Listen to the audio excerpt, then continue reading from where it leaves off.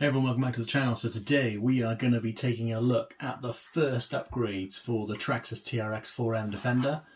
Uh, looking forward to getting some upgrades on this thing and see how it performs. So we've been sent some nice goodies from Little Guy Racing Parts. So we're going to be trying out their new 57mm uh, Trench King tyres. It's a 57 by 20mm tyre. We'll take a closer look at that in a minute. They've also sent me these awesome 1.1 inch all brass ghost wheels. You can get them in steel as well, but I went for the uh, the all brass, 40 grams a wheel. So looking forward to get those on. They've also sent me their lug nuts because they do different lug nuts for TRX4M, SCX24. But let's take a closer look and we'll chuck them on the TRX4M and then we'll get outside and give them a test and see how they perform. First off, let's take a closer look at the tyres. Uh, so like I said, it's a 57 by 20 mil tyre. It's directional, uh, really nice looking tread pattern. Um, you can see you've got the lovely shoulders there and you've also got your side lugs. So obviously it should give you a nice bit of kind of like side grip, especially if you're rock crawling and things like that. Uh, nice and soft. You can see how squishy those foams are. Really nice, soft, supple tyre. So it makes use of NL2 competition compound rubber, so obviously should be really nice and grippy. Uh, this is actually my first Little Guy Racing Parts tyre that I've tried. I'm really looking forward to trying these out. I think they look really cool. I love the name as well, Trench King. If you're new to the channel, we love mud, we love war, we love getting our rigs dirty, so that just seems like an appropriate named tyre to me. Little Guy Racing Parts do recommend that you either run a vented wheel or you vent the tyres to make the most of the tyre and then they're brass wheels. So this is the Ghost. Uh, it's actually a 1.1 inch wheel. You can get them in different colours and different materials. Uh, I think it's a really nice one. I've gone for the all brass, so 40 grams a wheel. Uh, you know, nice offset hopefully should look really nice on the TRX 4M, I think. One thing to note is these brass wheels won't work with your stock TRX 4M tyres. So if you are looking to utilise your stock TRX 4M tyres, they won't work with it because obviously they're 1.1 inch instead of a 1 inch. So just something to be aware of. Obviously it doesn't matter for me because I'm going to be using the Trench King tyres. Now, in terms of comparing the Trench King tyres to your stock TRX 4M tyre, so this is the stock wheel and tyre. So you can see the uh, the Trench King is slightly larger. Uh, it's it's narrower than the stock TRX 4M tyre, but it is a slightly larger diameter, only by a little bit, but not by a massive amount. So obviously, you could easily run this tyre on your TRX 4M, you know, without having to make any like modifications to the body or stuff like that. You haven't got to chop anything up or anything, which is really nice. And then in comparison to the stock SCX 24 tyre, this is the stock wheel and tyre off the Bronco. Uh, you can see it is larger the Trench King is larger than the SCX24 tyre, so so you can see it is quite a bit larger. So, but again, I've ran larger tyres on my SCX24 Bronco with the hard body, and you know, again, you don't have to do any chopping or anything like that. You know, if as long as you're not going for like 60 mil plus or something, you know, you can run like a 57 mil, 58 mil tyre, you know, without any issues. You just get a slight rub sometimes on the front bumper. Um, but yes, yeah, so you can see the size difference there with the SCX24. And then if you're considering the wheels and tyres for an FCX24, these are the stock wheels and tyres off the FCX24 K5. So again, you can see it's very, very close tyre size to the stock um, FCX24 K5 wheel, uh, almost exactly the same width and almost exactly the same diameter as well. Again, you're not going to have to do any crazy modifications to your K5, that lovely K5 Blazer body, to get this Trench King on there. So that's really cool. So I'm not going to bore you with, you know, taking all the wheels apart and fitting all the tyres. We're literally just going to get the tyres on the wheels, get them on the rig, and then we can get outside and get to the fun stuff and actually see what they perform like. So just a note to say the brass wheels are actually vented. So if you don't want to run them vented, you need to seal that hole. So just before I finish putting all four wheels together, I've got three of them done. I just wanted to point out how easy these wheels are to put together. So obviously you've got your centre ring, you've got your back face, and then obviously you've got your front face of the wheel. So easy to put these wheels together. Uh, you can tell they knew it was going to be easy because you only get one length screw, whereas most other wheels you get the longer screws, which you're meant to put in first, then you replace them all with the shorter screws. But man, these things are just so easy to put together. Oh, it's taken me like a couple of minutes just to fly through them all. So yeah, for me, that is a massive bonus. Okay, we've got all four wheels and tyres fitted. And you can see that squish look. That's really, really nice. You can see that kind of sidewall movement as well, look. That's nice.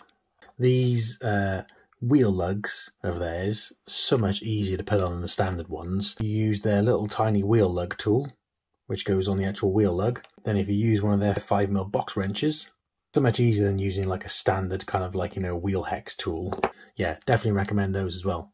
Plus, I think they look really nice as well. It's more like a, um, a scale uh, wheel lug as well, if you ask me, which looks really cool. Okay, we are outside with the TRX4M on the little mini rock crawler course. You know the story. We're going to give it a test, see how it performs with these uh, Trench King tyres and the all brass uh, wheels from uh, Little Guy Racing Parts. Absolutely loving the squish on these tyres. Haven't invented. They got so much squish on them you know lovely kind of flexibility you know you can just see how they're like conforming to the to the rocks. So yeah let's give it a little test to see what it's like. Nice straight up there. Oh we're stuck in a little ridge.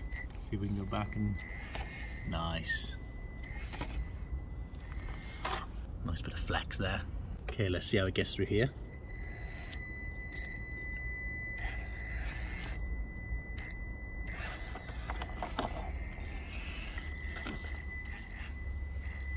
They got a good grip. You can see that low down weight. Oh, nice. You know, that's that weight work in there that's stopping it from tipping over. See if we can rescue that. Nice. Okay, as we're here, let's see if we can get up the slope. This is normally an area that we really struggle with.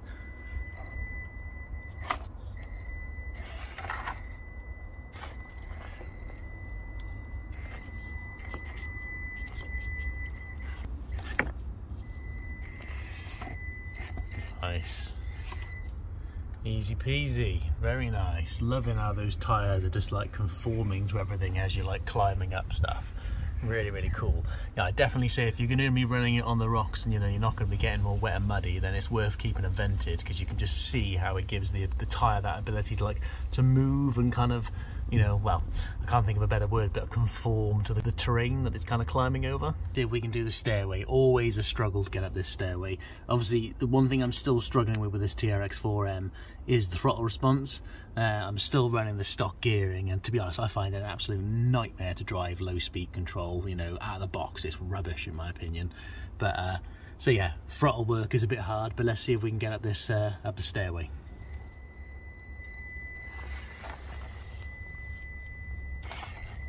Nice. Oh, my life. Oh, we're getting stuck on that last big rock.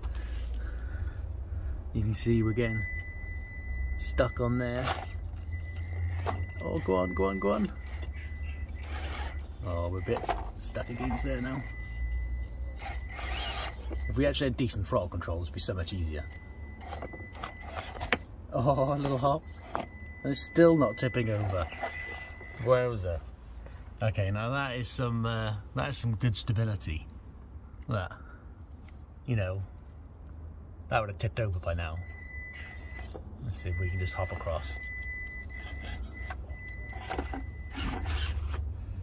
It's making it look easy, even with the really poor throttle control I've got on this thing, you know, it is gripping so well. And that low down weight from those wheels is making a massive difference.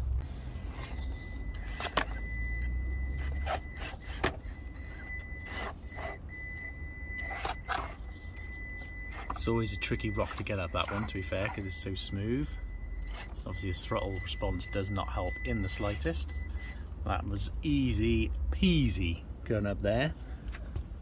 Okay, let's try coming down.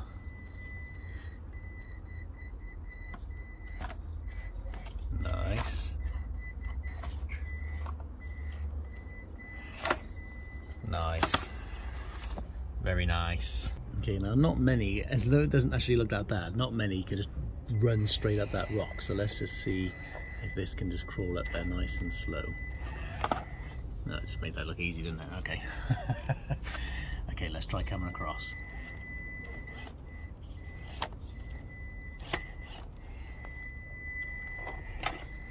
Nice. Can we recover?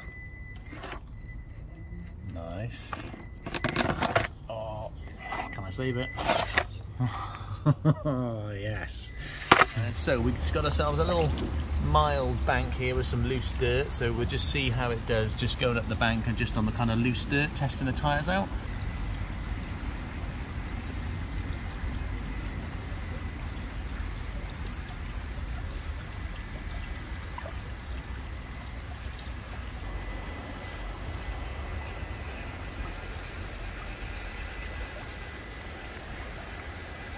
That was nice and easy. And they had a nice bit of grip there on that kind of loose dirt. Uh, made at the bank, no problems at all. So, you know, that was pretty good. Happy with that. We got the tiniest bit of mud here. Let's just give them a little run through the mud, see what they're like.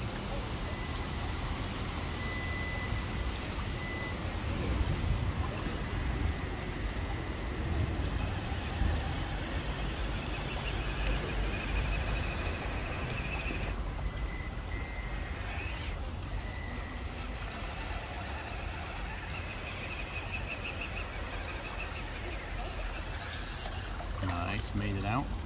Uh, just a little bonus round, just in case you want to see what they look like on the SCX24. Here they are on the SCX24 Bronco. You can see they are quite big, uh, you know, against the actual uh, Bronco body. Let's just do a quick little run with the Bronco as well. So it's got much smoother throttle control than the TRX4M, just so you can see what it's like if you're considering them from an SCX24.